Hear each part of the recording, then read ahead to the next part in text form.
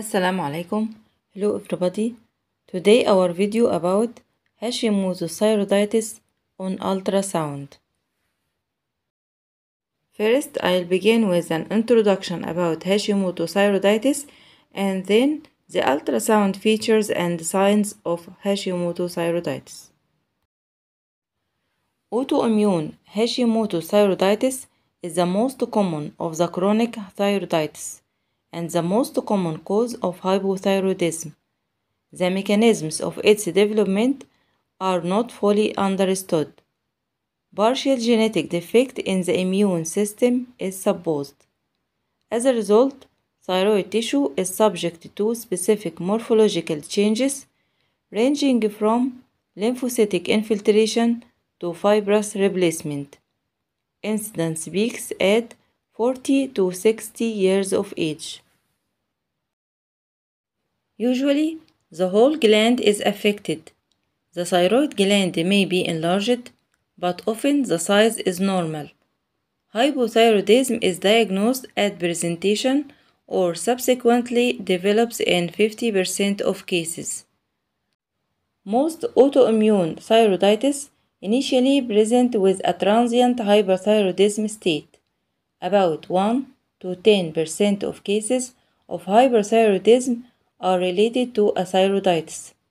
Thereafter, the thyroid hormone level returns to euthyroidism or falls down to permanent hypothyroidism and requires lifelong replacement therapy.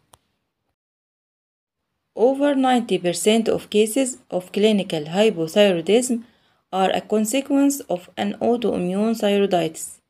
In most cases, autoimmune thyroiditis is diagnosed based on clinical signs and laboratory tests TSH, T3, T4, antithyroid peroxidase, antithyroglobulin antibodies, and others. In some patients, especially with no symptoms of impaired thyroid function, ultrasound is the first diagnostic modality to suspect autoimmune thyroiditis. In patients with diagnosed autoimmune thyroiditis, ultrasound serves for differential diagnosis with other thyroid diseases, follow-up, and detection of concomitant thyroid diseases.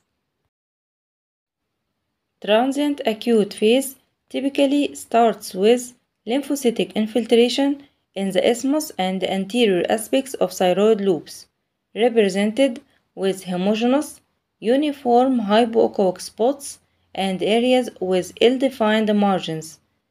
Spreading infiltration confers all aspects of both lobes in subacute phase accompanied with the enlargement of the entire thyroid gland and irregular hypervascularity. The common grayscale image of autoimmune thyroiditis in the majority of patients is registered in chronic phase. It is characterized with the following ultrasound signs. Number 1. Enlargement or normal size of the thyroid lobes and isthmus, with predominant enlargement of the depth and width of the lobes. The atrophic type of the disease results in a decreased thyroid volume. Number 2. a regular decrease in echo density, diffuse heterogeneity of the parenchyma from fine-grained to coarse-grained, resulting from hypoechoic areas of various sizes distributed within the thyroid tissue, sometimes merging into each other. Number 3. Echogenic inclusions with different shapes, more common linear septa or point-like, related to the stromal component. Number 4. Tuberosity of the posterior surface, blurred rough margins. This picture shows chronic phase autoimmune thyroiditis sonograms. A. Grayscale ultrasound transverse scan. B. Grayscale ultrasound longitudinal scan. C. Color Doppler imaging. D. Enlarged lymph nodes along the posterior surface of the thyroid lobes. Number 5 of ultrasound signs of Hashimoto thyroiditis is hypovascularity of hypoechoic areas is typical. diffuse hypervascularization is possible. The blood flow pattern with color Doppler and power Doppler is irregular and depends on the type of autoimmune thyroiditis. Number 6. Irregular, medium, coarse-grained asymmetric elasticity of the parenchyma with compression ultrasound elastography. Number 7. The stiffness of thyroid parenchyma is usually normal or slightly increased with shear wave elastography. Number 8. Irregular enhancement of thyroid parenchyma with spots of hypo or hyper enhancement related to the type or stage of autoimmune thyroiditis. Number 9.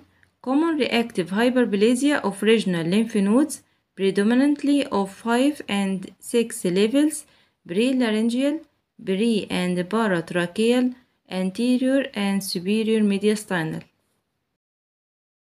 The outcome of autoimmune thyroiditis with thyroid atrophy and hypothyroidism is characterized with a substantial decrease in the size of the thyroid gland, decrease in echogenicity, heterogeneous structure, hypovascularity, and dense pattern with ultrasound elastography. The margins appear irregular and blurred. The gland is often difficult to distinguish from the surrounding tissue. This picture shows autoimmune thyroiditis atrophic type echograms A. Grayscale ultrasound transverse scan B. Grayscale ultrasound longitudinal scan C. Color Doppler imaging longitudinal scan of the left lobe D. Compression ultrasound elastography longitudinal scan of the left lobe the following four types of autoimmune thyroiditis are proposed based on ultrasound features. Number one, diffuse type, characterized by enlarged thyroid with an ordinary shape, well-defined margins, and diffuse changes in parenchyma. Number two, focal type. Number three, diffuse nodular type, characterized by a lesion or several lesions along with diffuse changes of the whole gland. Number 4. Mixed with nodules. This type exhibits true colloid nodules along with autoimmune thyroiditis. Diffuse type is the most common echographic finding among all types of autoimmune thyroiditis. The changes of the parenchyma cover the entire enlarged thyroid gland. Prevailing ultrasound features determine the following patterns hypoechoic heterogeneous, pseudo-micronodular, pseudo-macronodular, significantly hypoechoic, with prominent fibrous changes, hyperechoic heterogeneous. Autoimmune thyroiditis echograms, hypoechoic heterogeneous pattern, grayscale ultrasound A and B, transverse scan, B and D, longitudinal scan of the left lobe. Autoimmune thyroiditis echograms pseudo-micronodular pattern A. Grayscale ultrasound transverse scan B. Power Doppler longitudinal scan of the left lobe Autoimmune thyroiditis echograms pseudo-macronodular pattern A and B grayscale ultrasound C and D pseudonodule in autoimmune thyroiditis grayscale ultrasound and power Doppler longitudinal scan of the left lobe. Autoimmune thyroiditis echograms significantly hypoechoic pattern. Longitudinal scans of the left lobe. A. Grayscale ultrasound. B. Power Doppler imaging. Autoimmune thyroiditis with prominent fibrous changes. Echograms. A. Transverse scan B. Longitudinal scan of the right lobe. In hypertrophic autoimmune thyroiditis, ultrasound determines hypoechoic or isoechoic foci with inaccurate contours, named pseudonodules. The term often implies a local hypertrophy of the thyroid parenchyma, which imitates true colloid nodule. In cases of enhancing cytotoxic process, they increase in size and heterogeneity and decrease in echo density with a tendency to merge. The ultrasound image of abnormal thyroid parenchyma in grayscale mode is quite variable. Some figuratively named signs are often used, such as Swiss cheese sign is characterized by individual small pseudonodules, which is hypoechoic foci.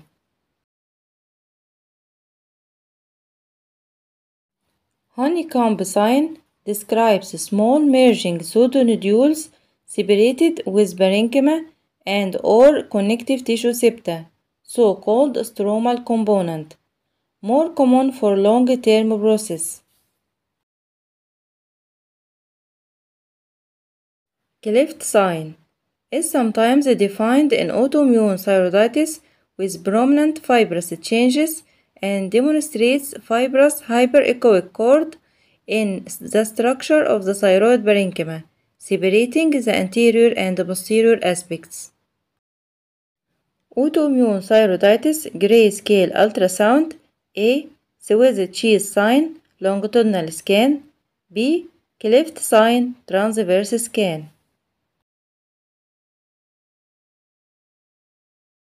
White knight sign identifies a lesion of increased echo density on the background of diffusely decreased echo density of the thyroid parenchyma. This is a benign regenerative formation, usually larger than 1 cm in size. White knight sign in autoimmune thyroiditis echograms. Grayscale ultrasound A. Transverse scan B. Longitudinal scan of the left lobe. Giraffe sign refers to multiple thyroid lesions of increased echogenicity separated by thin hypoechoic rims of the parenchyma. The term chronic autoimmune thyroiditis with the formation of nodules seems incorrect. Any lesion of various natures can occur in the autoimmune thyroid, but this is a different disease that often precedes the occurrence of autoimmune thyroiditis disease. The differential diagnosis of lesions on the background of autoimmune thyroiditis is difficult and often impossible. The following principal features of true nodules in autoimmune thyroid may be considered. Rounded shape, decreased or normal echogenicity, homogeneous structure, smooth clear margins, perinodular vascularization with color-coded Doppler, different elasticity of nodules, and the surrounding parenchyma with ultrasound elastography. Different degrees of contrast enhancement with contrast enhanced ultrasound. Hyper enhancement is more common. The initial forms of autoimmune thyroiditis are often diagnosed with ultrasound. In such cases, characteristic changes in grayscale mode are not accompanied with the changes in color Doppler. Conversely, hypervascularity of the thyroid parenchyma may be the only marker of the diffuse autoimmune thyroiditis even with unchanged grayscale image. One frequent indirect sign of autoimmune thyroiditis is enlarged lymph nodes near the inferior poles of the thyroid lobes and isthmus. Lymph nodes in the anterior neck compartment can compose a chain that spread down to the anterior mediastinum. They commonly exhibit homogeneous structure and decreased echo density, smooth, well-defined margins, and oval or roundish shapes. Lymph node vascularization in color Doppler and power Doppler is normally decreased with an unchanged vascular pattern.